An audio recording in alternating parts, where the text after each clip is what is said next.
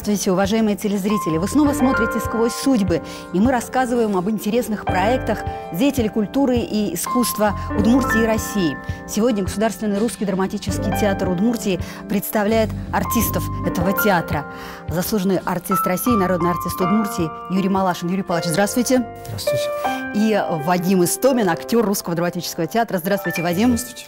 Спасибо, что вы пришли э, рассказать о некоторых интересных событиях, которые в русском драматическом происходят. Но я всегда прошу гостей сперва начать немного о своей судьбе. Может быть, э, несколько фраз о том, как судьба вас привела в театр. Юрий Павлович, из самодеятельности это вообще все случилось внезапно у вас? Ну, как, как и все, наверное, как многие, я тоже занимался в самодеятельности. Э, в клубе, в небольшом городе Свердловской области а. Ревда, занимался и увлекался этим делом. И как-то так сложилось, что я сразу понял, что я буду актером, и, и больше у меня никаких желаний не было. Я шел туда целенаправленно, поэтому поступил. Вадим, а как у вас это произошло? Я, я знаю даже, что перед русским драматическим вы успели еще в одном театре начать да, карьеру. там без образования угу. я туда пришел. Как-то странно меня судьба в театр занесла. И в школе особой самодеятельности не участвовал. И не думал до окончания школы вообще о театре, в принципе. Нас вводили со школы как такие добровольно, добровольно-принудительные. Вот. И э, увидел объявление, то, что Екатеринбургский государственный угу. театральный институт э, набор объявляет в Тобольске, на моей родине. То есть там э, в один день был конкурс прослушивания. И как раз в этот день у меня в школе был экзамен по информатике, и я не попал. Ну и после окончания школы, естественно, надо куда-то поступать. Э, родители настояли на университет нефтегазовый. Проучился там один курс. Понял, что абсолютно не мое, не могу сидеть за партой и слушать лекции. Потом, на тему нефтегаза. Да, и потом дальше работать по жизни инженером я не хочу были ссоры с родителями, ага. потому что ушел, ну, учился ну, да. на платном, потому что... Вот, и решил поступать. Поехал поступать в Екатеринбург. Там дошел до второго тура, благополучно слетел со второго, угу. вернулся в Тобольск и просто пришел в театр. Хочу работать в театре, кем, не важно. Пришел монтировщиком в штат, вот, работал монтировщиком, и подошел э, артист Тобольского театра Юрий Мазур, предложил поучаствовать в постановке. То есть он в качестве режиссера выступал. И как-то закрутилось, завертелось. Сезон я проработал. В четырех, по-моему, спектаклях был задействован. Ну, потом все-таки пришла эта мысль, что надо поступать. Уволился из театра. Пробовался в Москву сначала. Нигде не прошел. Потом э, опять поехал в Екатеринбург. Опять второй тур злополучный. Вернулся в Тобольск, предложили ехать в Казань. Казанская театральная. Вот, приехал туда 1 сентября, как-то без конкурса, все на меня так озирались, кто такой пришел вообще. Вот, послушали меня педагоги, сказали, берем. Вот так вот, так вот я и попал. Говорят, что действительно в театр попадают как под поезд, они просто да. приходят служить и работать. Но вот, э, Юрий Павлович, к вам у меня такой вопрос родился. Бывает ли у вас в сезоне, вот как с каким-то особым чувством вы играете какую-то одну отдельную постановку? Или это не характерно для вас? Вы вообще волнение испытываете перед каждым выходом на сцену, а я должна заметить, что вы иной раз, пусть и блистательно, но играете самые крошечные роли. Что несправедливо, конечно. Как у вас? Да, ну, в театре бывают разные периоды, конечно. Да. И вот последний период у меня был такой, как-то я как-то так складывалось, что я играл небольшие роли. Вот. Э, Но любили, вот вы, вы все равно ведь любите, Кон- вот кажется, конечно, вы иначе их так ну, блестяще ну, не исполняли. Без этого невозможно выходить на сцену. Это э, любую роль ты должен любить и, и с этой любовью выходить на, на публику, иначе тогда все бессмысленно. Если ты сам не, не влюбляешься, это невозможно заразить публику этой, э, ничем другим, кроме своей любовью вот к этому персонажу. Вот. Но, конечно, волнуешься, конечно, всегда это естественно для всех.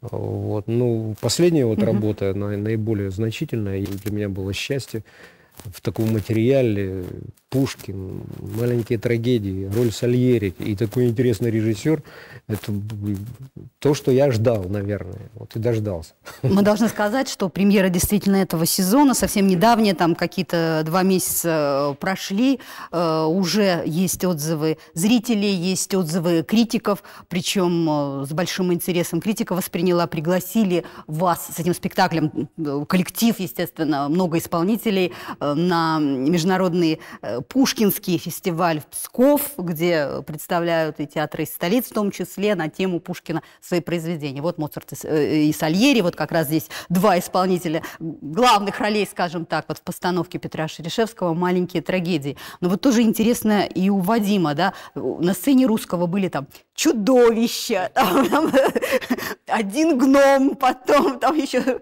ну, чуть ли не дерево, да, потом вдруг появляется Меркуцу, Ромео и Джульетта, да? Теперь вот Моцарт в постановке «Маленькие трагедии». Э, это что-то как-то вот щелкнуло, что-то переключилось? Или это просто вот надо на одном месте работать, работать, работать, любить каждое дерево и каждого гнома в своем исполнении? И тогда что-то будет? надо, конечно. Ну, не знаю, как так щелкнуло. Наверное, это вот после «Ромео и Джульетта» как-то да? пошло, да, угу. скорее всего. Вот. После Сергея Павлюка. Угу. Ну, для меня, конечно, тоже удивлением большим было, что роль Моцарта как-то угу. так потряхивала даже изначально.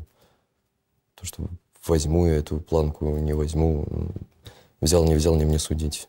А, полностью осовременен сюжет Пушкина, перенесен в наше время.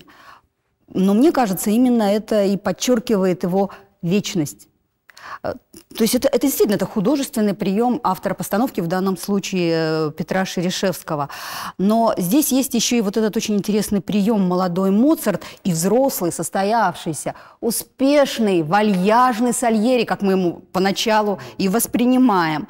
Но вот э, вопрос здесь у меня даже, может быть, больше к Вадиму. Э, ощущаете ли вы, что здесь Моцарт некий такой вот положительный полюс?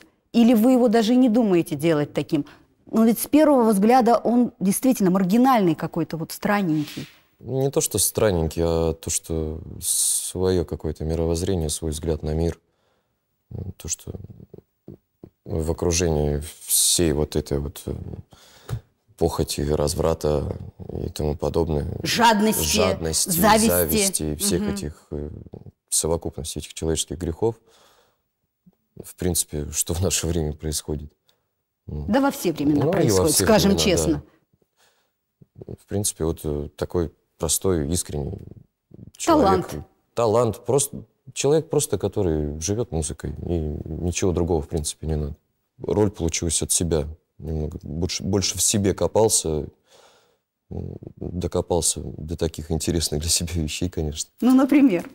Ну, например, на мир действительно после этой роли как-то у меня взгляд поменялся более открытый стал людям, более искренне, как-то более с добром относиться. Вот если раньше за собой замечал там какие-то тоже там завистливые моменты, там, ну, такие не черные завистью, прямо такой белый, хороший тоже, но все равно, но почему не я?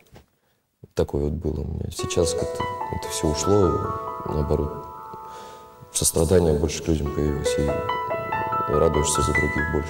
Я знаю, что артисты вообще иногда предсказывают свою судьбу и, может быть, успех спектакля. Вот судьбу маленьким трагедиям. Может быть, еще какому-то спектаклю, о котором бы хотелось вспомнить. Может быть, сказать, что уже счастливо складывается там у зрителя. Вообще есть эта формула успеха? Вот к вам обоим такой вопрос. Формула успеха спектакля или... Да. Спектакля. Ну, даже не знаю. А роли? Тоже не могу сказать, вот как, пойдет. Э, ну, конечно, успех прогнозировать очень сложно, потому что наше дело абсолютно такое непредсказуемое, и не знаешь, где что и как отразится, и как будет принимать публика. Но вы знаете, я убежден, что э, этот спектакль э, абсолютно э, нужный театру. Такой, такого спектакля у нас не было. Это новое такое. Я просто иногда ты говоришь что тебе там не стыдно в таком-то спектакле играть. А в этом спектакле я горжусь, что я в этом спектакле нахожусь. Мне, я бы страшно завидовал, если бы я не был участником этого спектакля со стороны, а, а мне настолько там хорошо, настолько интересно. И, и я просто горжусь, что у нас есть такой спектакль. Э, потому что мы привыкаем к какому-то вот телевизору, да, где нам мыло показывают, мы все немножко привыкли вот так клипово мы мыслить. Но это не есть правильно. Вот все-таки театр, он говорит о каких-то очень таких важных вещах. Вопросы, во всяком случае, да, и ставит задает. вопросы очень угу. важные и современные. Юрий Павлович, ну вот э, каждая следующая работа, ей живет артист. Сейчас э, премьера готовится «Покровские ворота», она вообще уже не за горами. Угу. Да, э, мы готовим такой спектакль, но работа еще только вот, хоть осталось месяц, мы уже, в принципе, какой-то период уже репетируем с перерывами то уезжали, тут э, у нас же почти вся труппа была занята в этом. Все выехали, нас вывезли. В гастрольной поездке в Псков. Это вообще, конечно, подвиг для театра, и, и надо отдать должное директору, потому что... Стелле Кудрявцевой, да, да, да совершить этот подвиг. Потому что а, а, такую массу народу отправить, просто отправить, это уже небывалое за последнее время такое дело. Поэтому э, были перерывы, и Сейчас мы вернулись вот э, к, к репетициям. Ну, что-то пока прогнозировать угу. не хочу.